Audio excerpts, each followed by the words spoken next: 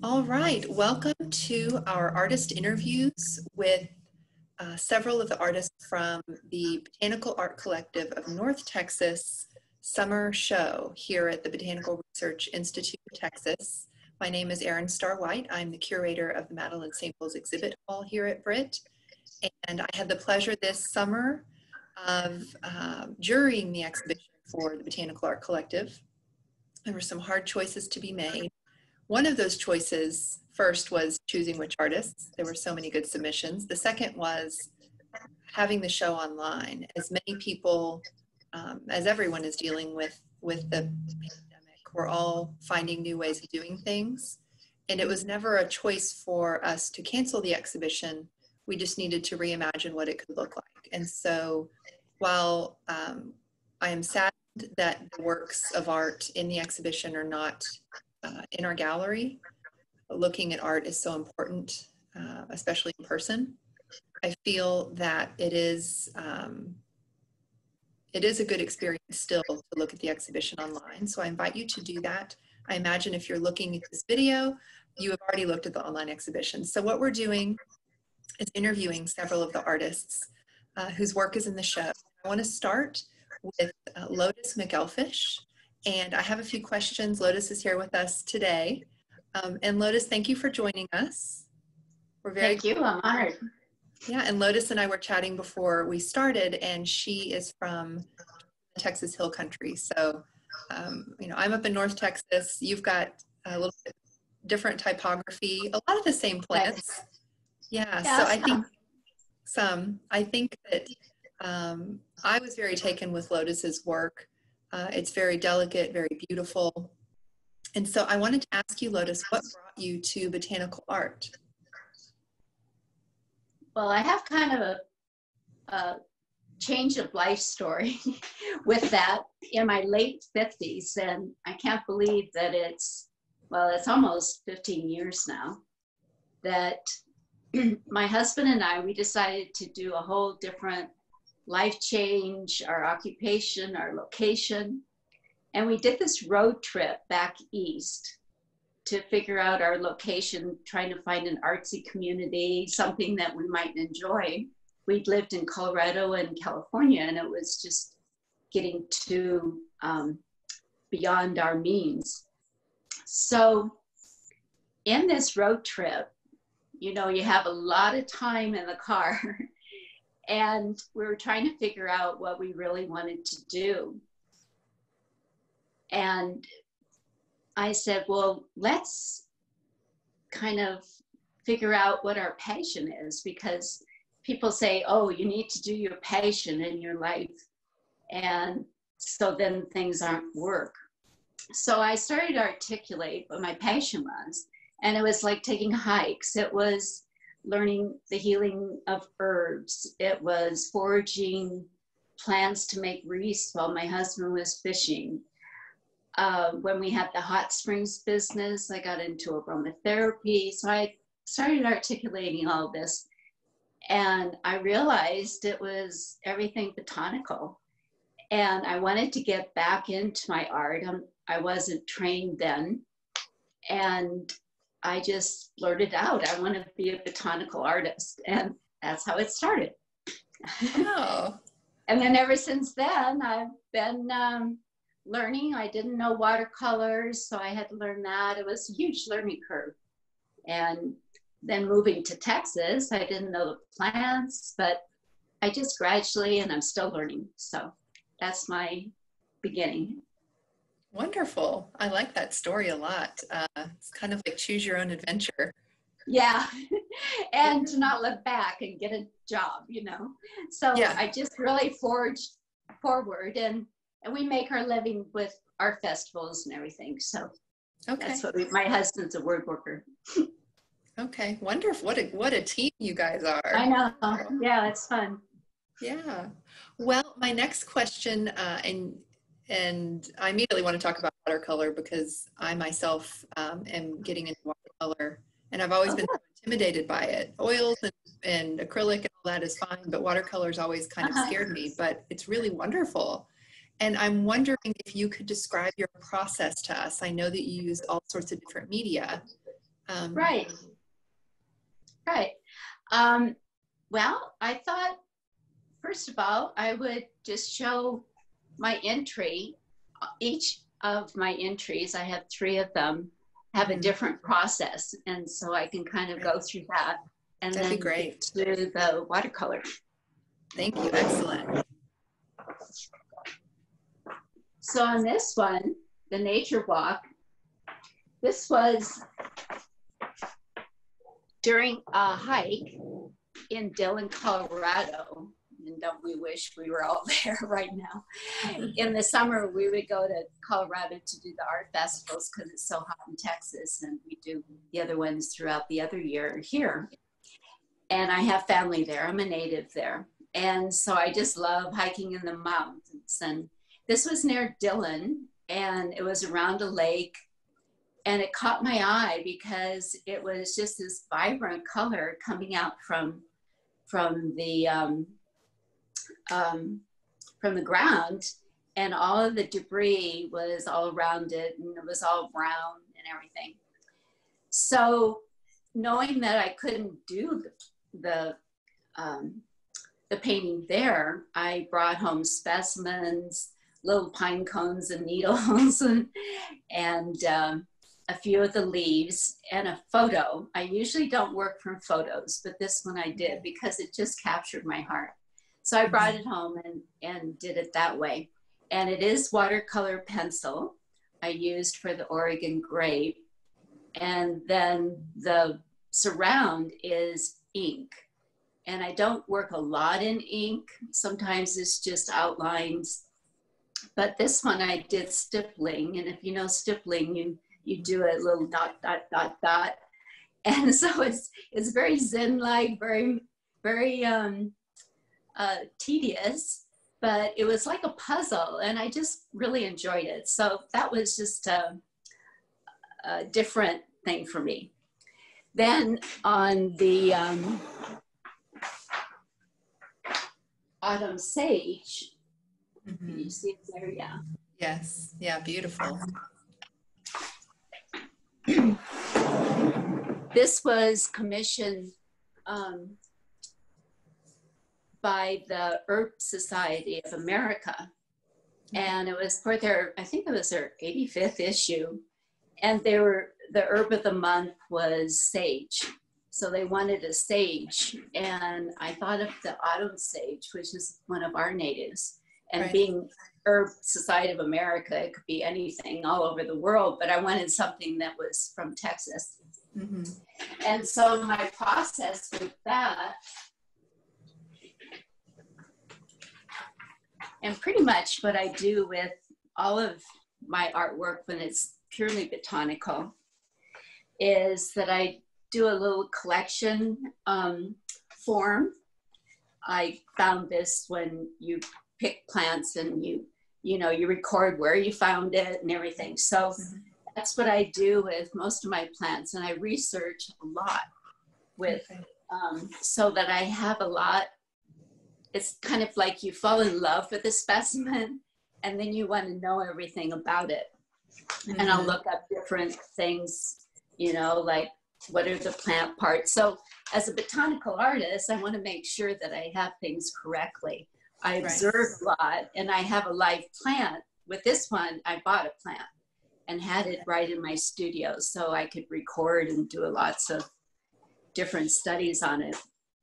Then for this one, because it was a cover, I did different compositions. So with the specifications that they wanted. Right. And then I, I chose chose that one. So that's a little of that process. And then I do studies. So I wanted this to be larger than life size. And I don't usually do that. I usually mm-hmm. Do things at like at the size. And so I did different studies of it. And then the color, oops, can you see the color? Right, all your samples, yeah. Yeah. So your it sounds um, like your process is very in depth and it is, yeah, and it takes a long time. That's great and though. So then the composition, And on this, I just did a, a bit of a tonal, a quick Mhm. tonal on it, not in depth. And I sent this to them via email just to see if I was on the right track, if it's what they wanted, because I wasn't going to develop this and Right. have to start all over again. And they loved it. And they said, we like it black and white.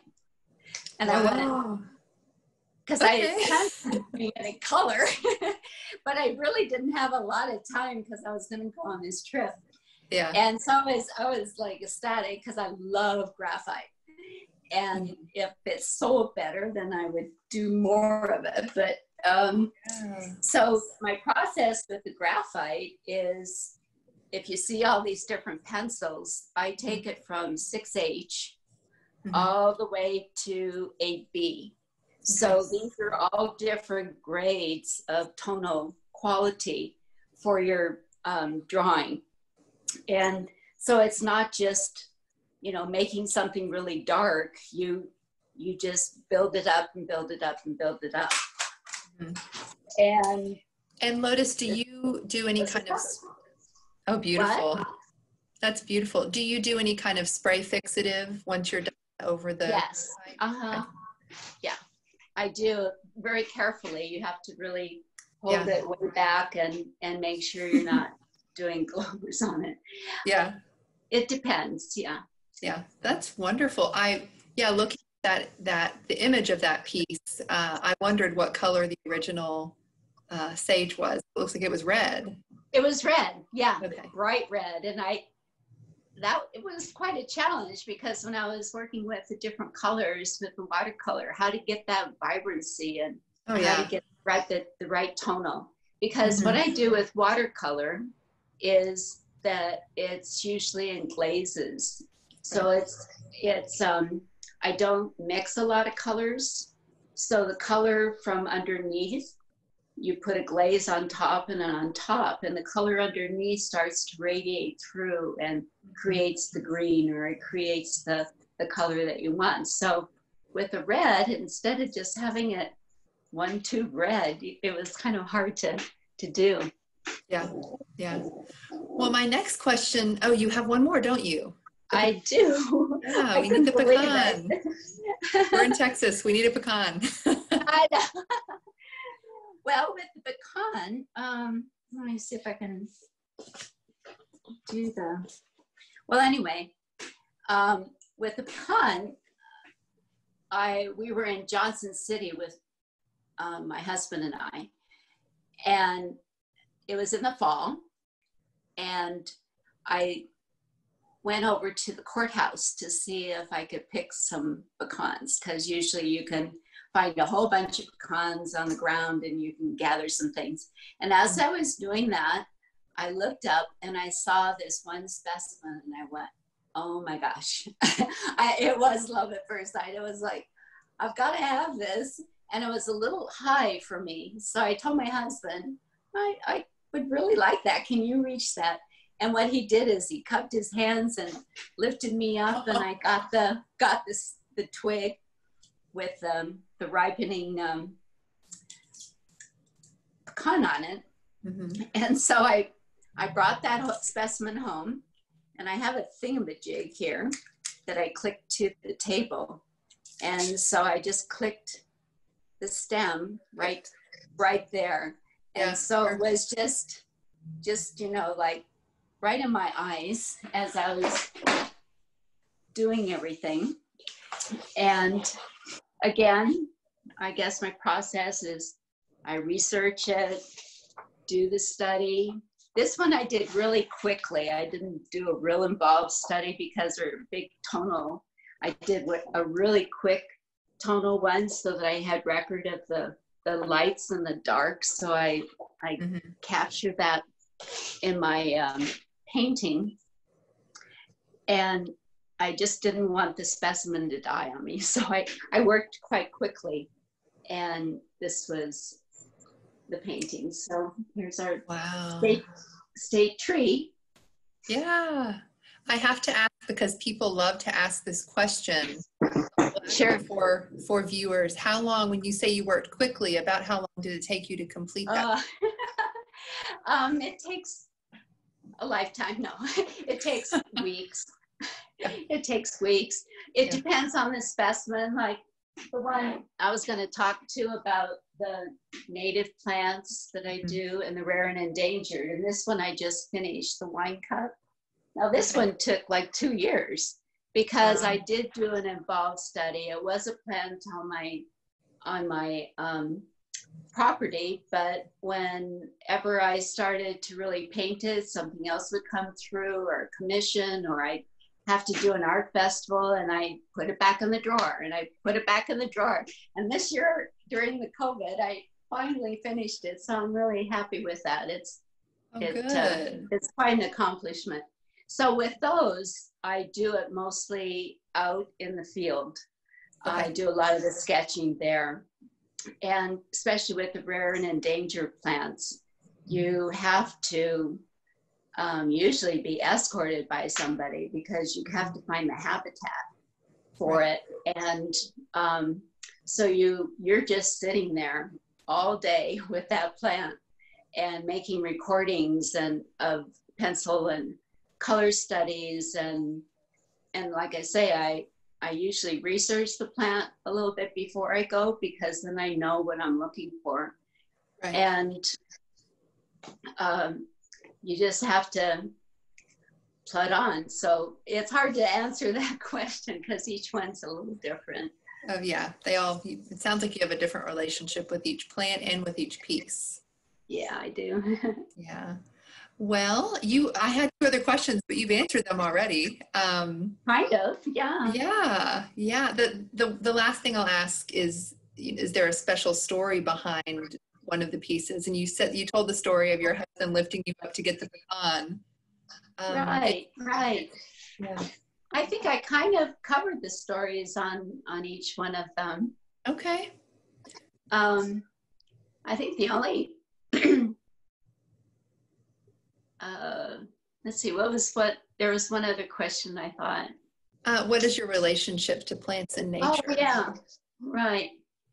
I think what I wanted to uh, just bring out that is just sort of immense. It's just part of me, and um, when we first bought our property, it was 15 years ago, it was totally burned out. Only the oaks on it left.